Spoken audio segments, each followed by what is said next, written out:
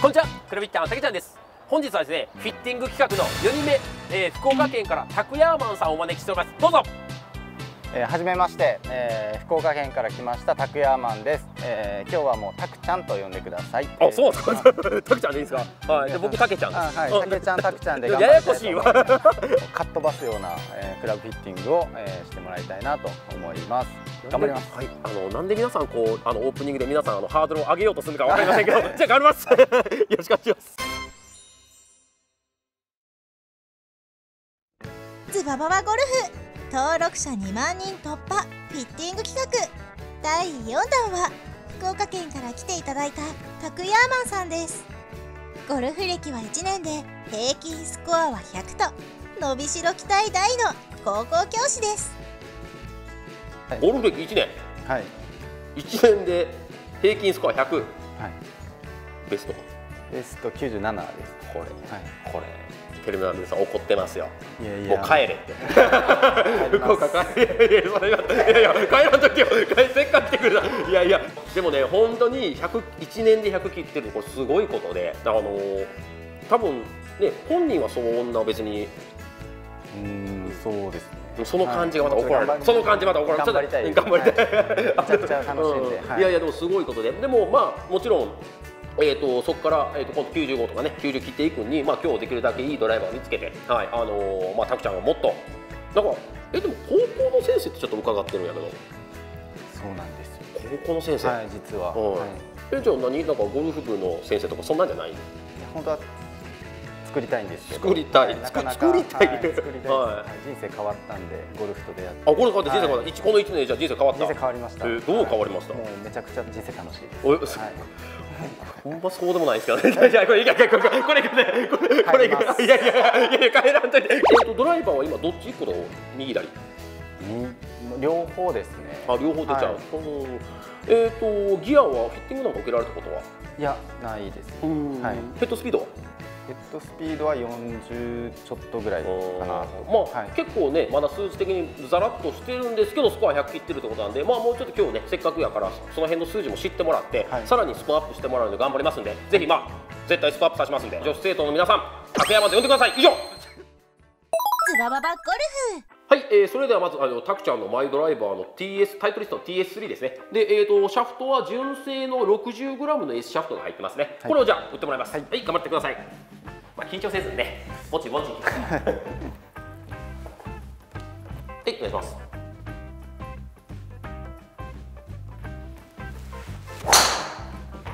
うんナイスボール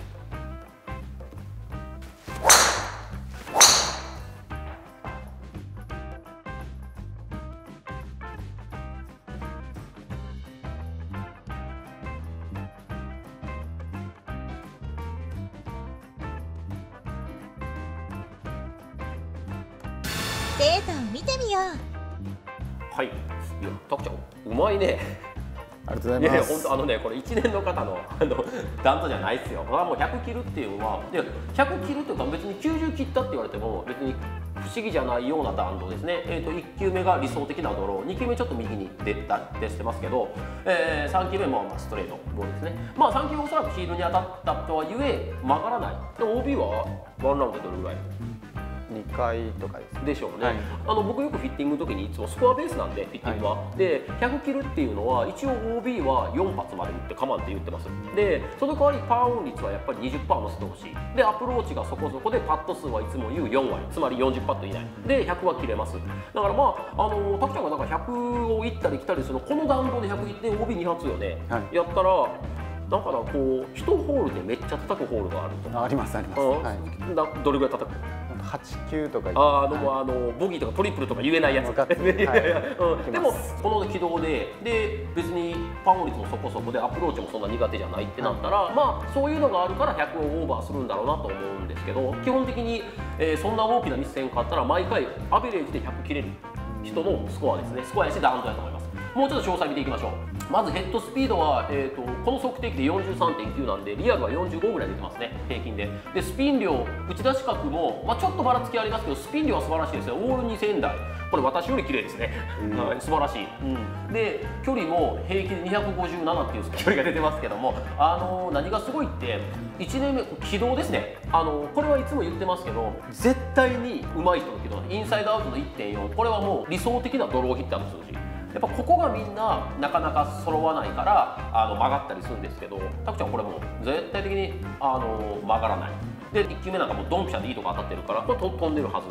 ただ強いてもうこれはちょっとごめんなさい、あのー、当てつけっぽくなりますけども強いて気になるのはこのアタックアングルいわゆるダイナミックロフトっていうのがアッパーすぎる。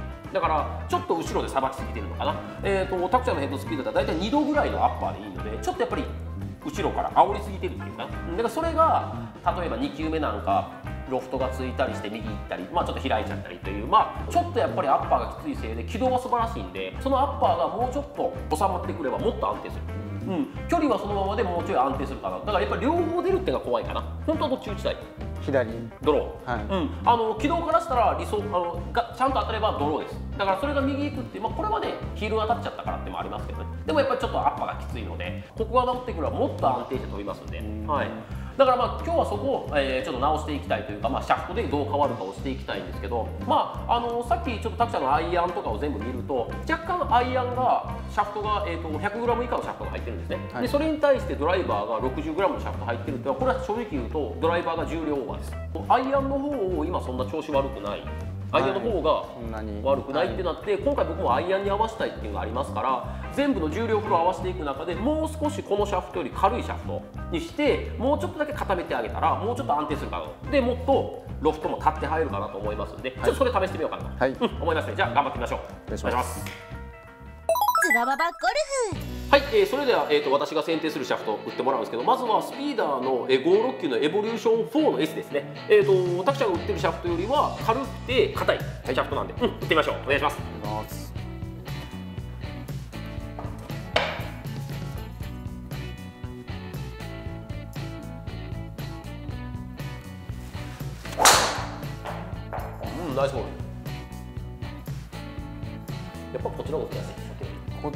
ちやすいですね、うん。まあ、これはもう調子相性やから。お願いします。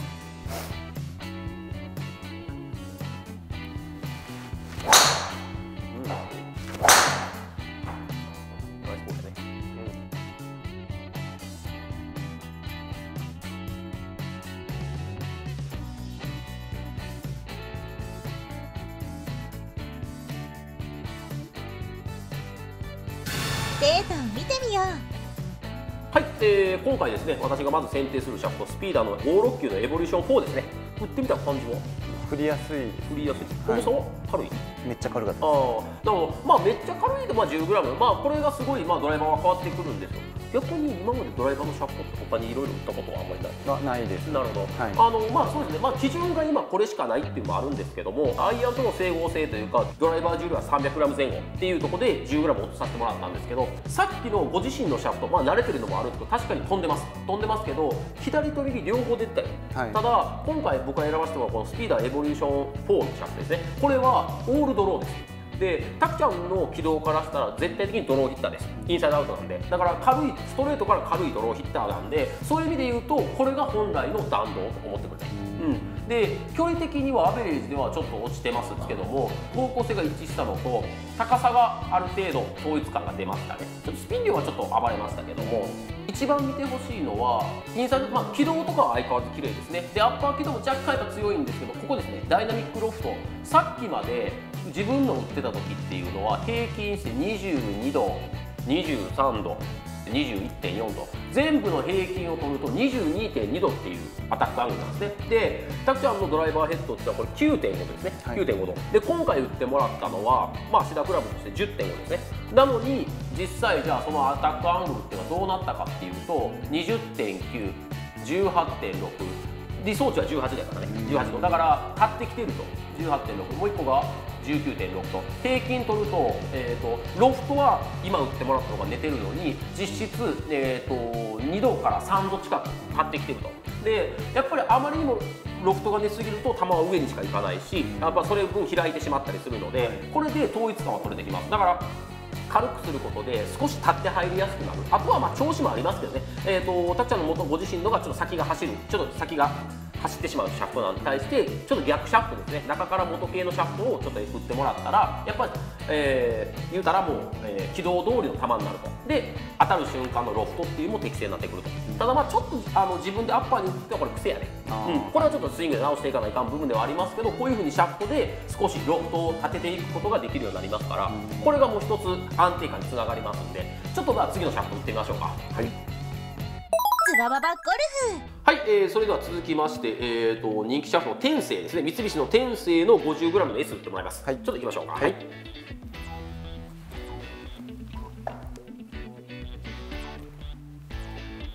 ちょっと一回素振りしようか。実際多分感覚が、うん、難しいかな。はいお願いします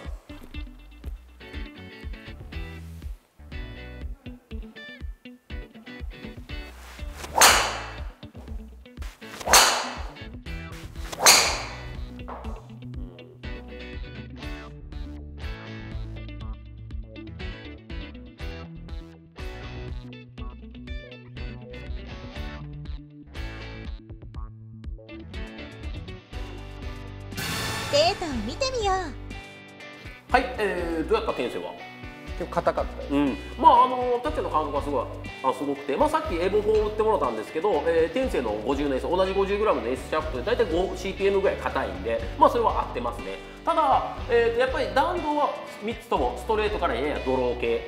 ただちょっとやっぱ硬かったかなっていうのが本音ですね。あの飛距離も落ちてますし、えーと、とちょっと弾道の高さの統一感もさっきよりエボ4よりは暴れてる。えー、ヘッドスピードは変わってないですけどスピン量が増えちゃってちょっと頑張って振ったんかなっていうタコの高さがだから上がってない。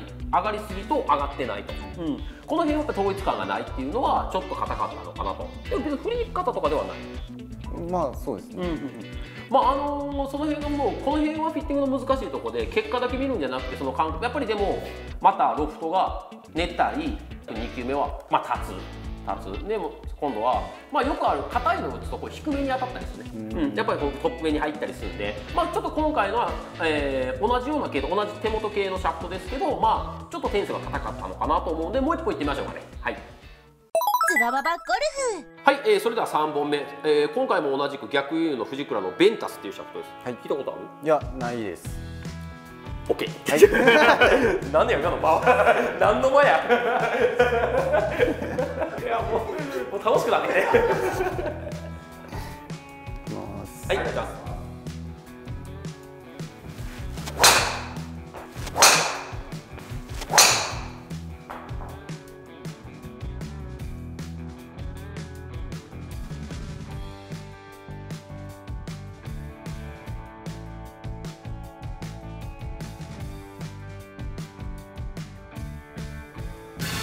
データを見てみよう。はい、えー、今回はですね、えーと、藤倉の逆輸入シャフトのベンタスってもらってえーとどどんな感じ？まあでも若干硬いかな。あ若干硬い、はい、うん、まあ天性ほどじゃないです。けど決して柔らかいシャフトではねやっぱ逆輸入というシャフトは決して柔らかいシャフトではないんですけどまあでも天性ほどではない、うん、で実際、えー、出ましたね。今日1、えーと、270ヤードっていうのが出てますね。本当これは今日1なんですけどただ難しいのはやっぱりあの一撃が出るシャフトっていうのとやっぱり安定するシャフトって若干違うかって、はい、あの2球目一撃出ますけど1球目と、まあ、3球目ちょっとヒールが当たったってもありますけどちょっと右と左っていう感じになってますね、まあ、1球目はちょっとなかなかね右でポンって出ちゃった。これはもうちょっと開いて入っちゃったんですけどただロフトはちゃんと立ってきてるっていうのがまあポイント。だから弾道だけじゃなくて数値的な部分を僕見ていきますから、まあ、そういう意味では2.5今まで一番そのアッパーが少ないと、うん。まあ、いい入り方はしてるんでただちょっと開いちゃったっていう感じで。はいえーと、2球目が一番飛んだやつですね。一番飛んだやつこれ先っぽに当たったんですね、うん、で2サークル0.5これ軌道が小さくなってロフトも立ってきていると、うん、3球目はっていうとこれは今度ちょっと低めに当たったんですね、はい、低めに当たったと。でも軌道はほぼ今度ゼロになりましたね。だからベンタスに関してはフェースの当たり当たる位置とフェースの、あのー開閉がちゃんとすれば一番安定して飛ぶかもしれない。可能性はすごい見えてくるシャフトだと思うんですけどただちょっとこれだけでは分からないんで、えー、と今回は今3本打ってもらったんですけどもちょっともう一回藤倉の2本、えー、と天性を除いたエボ4のシャフトとこのベンタスをもう一回ずつ打ってもらってどっちがいいかちょっと選定しようと思います。つばばばゴルフ。はい、えー、それでは確認のためもう一回、えー、とまずスピーダーの569のエボリューション4の S を打ってもらいます。は、はいいじゃあお願いします。はい2球いきましょう。はい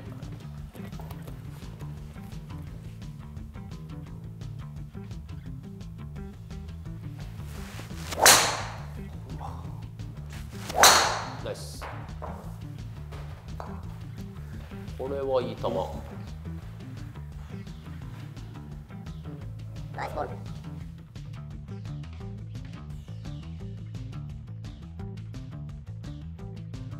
い、えー、それではまたベンタスの 5S 打ってもらいます。はいうんお願いします。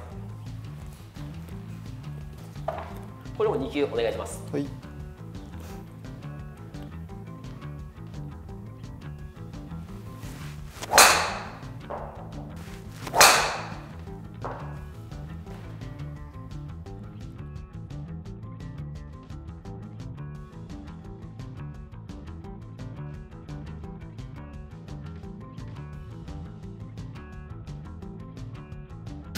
データを見てみよう。はい、えー、今も、えー、と2本とも2球ずつ打ってもらうんですこれで、はいあのー、大体分かりました、まあ、私のフィッティングと一撃っていうのは、まあ、もちろんその動画的にはね一撃飛んだ方が面白いっていうのはあるんですけどやっぱりスコアベースで最終的にはねたくちゃん上手くなってもらいたいですし、まあ、ここから多分 OB を減らすっていうのは、まあ、実際 OB そんなに出ないと思うんですけどもうちょっとこう安定感を持たせたスイングしてもらうためにはやっぱりスピーダーのエボリューション4ですねの569の S の方が間違いなく安定します。まあスピーダーも実は1球失敗してるんですけどこれは何かっていうと完全に打点位置です。これ。わかります、とはい。あのヒールトップっていうのは一番実はボールが飛ばないとこなんですね。ただパス見てもらったらあの振れば振るほどやっぱ軽いやつの方がどんどん綺麗なこれももうゼロですからね。本当まっすぐ入ってます。ただ強いてまあ今後の課題としてはアッパーが結構きついんですけどこれってやっぱアイアンで直していかないといけません。今フィッティング理論っていうのはドライバーからウェッジまで基本的にスイングは一緒です。だからこういうふうにアッパーが強い方っていうのは大体アイアンのダウン量が少ないんですよね。アイアンが打ち込めない人が多いですだから大体タクちゃんのヘッドスピードだったら4度ぐらいアイアン7番アイアンダウンで来ないかな多分12度かなって勝手な予想やけどね、そういう人がやっぱり基本的には連動しますからこのアッパーを直すのはドライバーで直すんではなくてアイアンで直していくとアイアンで自分の体重移動の乗せ方を変えていかないといけないんですけどただこの逆にこのヒールでも距離220飛んでますし2球目はちゃんと行きましたね。ど真ん中ですね。はい。これやっぱ素晴らしいですアウトサイドインの0.4もうほぼまっすぐ。これ曲がらないですよ。曲がらない、うん、ただここだけここだけこのアッパー軌道だけ少し直してもらえたらもっと飛ぶしもっと曲がらない、うん、で基本的にはこういう軌道になったらもうほぼまっすぐよね、うん、もうそのドローまっすぐからややドローまでだと思います。でまあ、ベンタスに関しては一撃は出たんですけどちょっとこの2球はもう完全にやっぱ打点位がちょっと暴れたという感じですかね。これロフト今度立ちすぎたり。ちょっとやっぱり、あのー一撃はあるんですけど、えー、とどうですか？ちょっとばらつきこういうふうにばらつき見ていくとちょっとばらつくんで、まあ、今回は、えー、とタクチャでこのスピーダーの、えー、と569のエボリューション1の S をあの買ってもらおうと思いますので、はい。まあ、あのどちらにしてもアッパー軌道っていうのはやっぱり重いシャフトで打ってるとどうしても癖になっちゃうんで、まあ、こういう風にしていくことで必然的に立っても入りやすくなってきますし、まあ、間違いなく今後、あのーアイアンとの整合性も取れるんでスコアアップは絶対できると思いますんで、はいまあ、今回はこういうこれを。えー、とプレゼントではないですけども、はい、買っていただこうと思います そういう企画やったんやけどそういう企画つばばばゴルフいやー、たくちゃん楽しかったわ。いやもうこち楽しかったでいかんな。楽しかった楽しかった楽しかったですはいやいや、あのー本当にまああのすごい一年からしたらすごいポテンシャルよ。これもう本当お世辞あの僕いつも言ってますけどフィッティングは数字が出ちゃうんでお世辞があのお世辞を言わないっていうか言えないんですよね。あれだから軌道とかはもうすごい。あらもう本当の軌道だけ見たら80代よ。あありがとうございます、うん、でも打点位置見たらやっぱ100ぐらい ちょっとそのそれでねいやもうそのさっきちょっとアイアンの話したんやけど、はい。また渋いアイアン持った1年目の人が持ってるアイアンちゃうでこれラズルダズルってご存知ですか？あの結構 G クラブの中でもマニアックな。大体アイアンってここにバンって書いてるんですよ。書いてないんですよ、はい。うん、ここに書いてる。もうあのキャディーさん泣かせよね。上から見たらこれ何番みたいな、ねすごいでも綺麗なアイアンヘッドとしては有名な、本当1年の方が持つヘッドじゃなくて、はい。でシャフトもねちゃんとアッタス FF の95の S 95の S じゃないですこれフリーフレックスなんでまあただまあ S 相当ぐらいで仕上げてるのかな、うん。これもねちょっとマニアックなシャフトでフリーフレックスって言って S とか R とかないよね、はい。その咲き方で硬さを調整するでも本当にあのいいアイアンセット持たれてるから、まあ、これに揃えてまあドライバー合わせていけば絶対良くなると思うんで、はい。うんまああのその辺でだからちょっとアイアンでちょっともうちょっと上から打ち込む癖をつけていけばドライバーがもっと生きてくる、はい。それはもう連動しますから。まあその辺をちょっとあのアイゴルフ的な話はもうここまでで、あでもなんか僕もずっと動画で見てたんですけど、はいはい、動画で見るよりかすごいシュッと、はい、ああ動画で見るよりシュッとしてる、結構ふなんか雰囲気ありました。おお、はい。出てます、はい。34以上に見えた。はいもうはい。すいやいやいやでもうもうあの素直すぎて素直すぎて好き。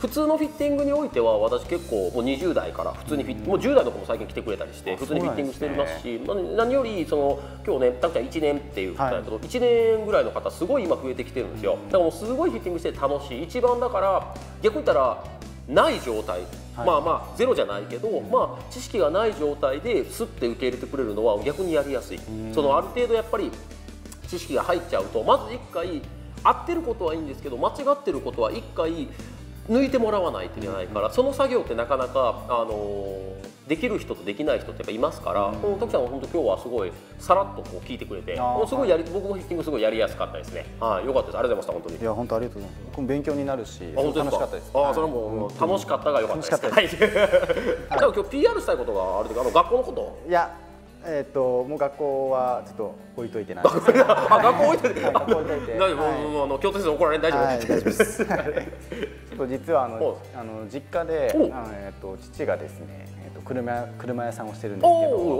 はい車さんなんですか？はい、はい。中古車販売してるんですけど、えー。うんえっとちょっとそれを PR したおいな。全然全然してくださいはい。多分お店の写真とかもこの辺に出してもはいらって、はいはいはい。多分この辺ね。はい。この辺に。この辺に慣れてんね。去年の台風の時に看板がすっ飛んでしまってですね、はい、今、はい、今じゃあ何？えっと看板なしの看車屋さん。板なしの車屋さんやってかて、っこいいね。はい。でもその分からんよね。そうなんですよ、うん。だからちょっとここで PR させてもらおって。なんていうお店？パークウェイ三笘って言ってパークウェイ三笘。はい。それ今看板なかったらもう絶対覚えれんね。絶対わかんない。絶対わからない、まあ。はい、うんとそこだけはいお願いします別に看板だけあの飛んでいったら看板だけ。へ看板がはいもう真っ二つに折れて、はいえ。そのそなんていうのかなこう直そうっていう話は出なかった？ちょっとこっちが正直すぎる。今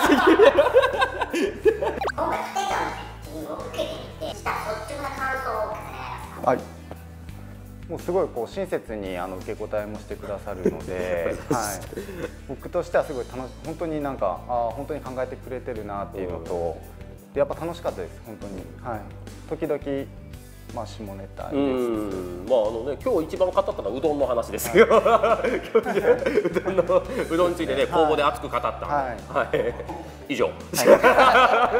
そうですねやっぱもう自分がやってすごいこう楽しかったので僕ももともとスポーツやってきてたんですけど、ただまあこんなに楽しいスポーツないなっていうのででやっぱいろいろ自分の中でも夢もできたし、あのまあ、それをまあ子供たちに伝えて人生楽しいんだぞって、はい、伝えたい。すごいね。ゴルフから人生楽しいってすごい。僕もう。本当変わったんで本当、はい。もう生き生きしてるもんね。はい。その前まではどんな感じだったの？ドヨーンみたいなのなんかこうこう縦線がどどどよ？みたいな。いや いやいやそんなそんなそんな人生辛かった？今本当もう、